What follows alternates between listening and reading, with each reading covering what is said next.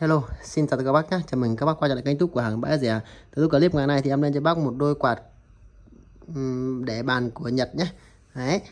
Nói chung là hàng thì hàng mới về xong nên em chưa kịp lau dọn gì cả em lên luôn cho các bác luôn. Đấy, nó còn nguyên tí bộ Nhật này.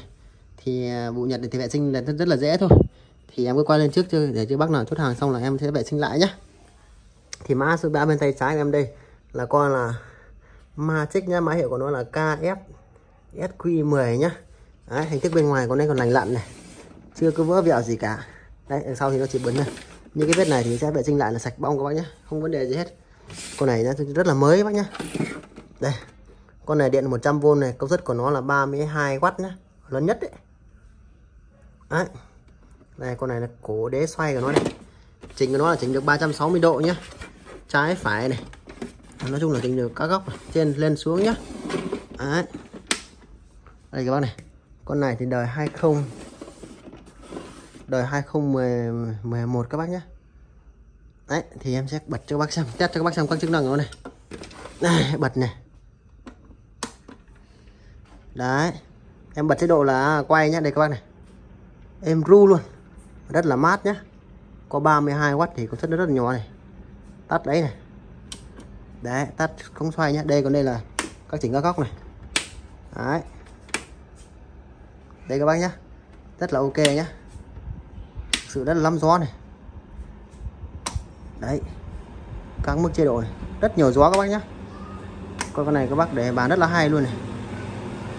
Đấy. Con này sai của nó để sai khoảng hai mấy gì đấy nhá. Thì con này em bán với giá là 800k các bác nhé 800k đấy. Các góc này quay thì tít thủ lù luôn các bác nhé đấy, tiếp theo mã số 2 này. Đấy, các bác nhìn các có quay này. Đấy. Đấy, tiếp theo mã số 2 nhá. Em lên cho bác là con xếp xếp pela nhé đấy. Con này hình thức bên ngoài cũng rất là ok nhé không bị vỡ vẹo chỗ nào cả. Đấy.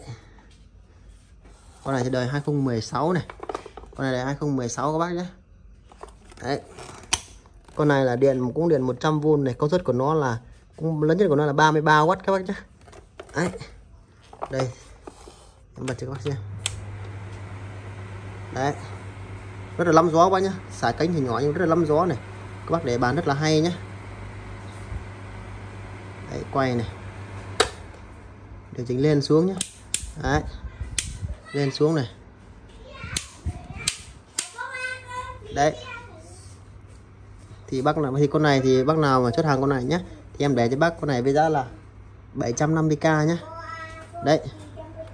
Bác nào chốt hàng thì vui lòng liên hệ với em nhé 0983 này 329755 giúp em với.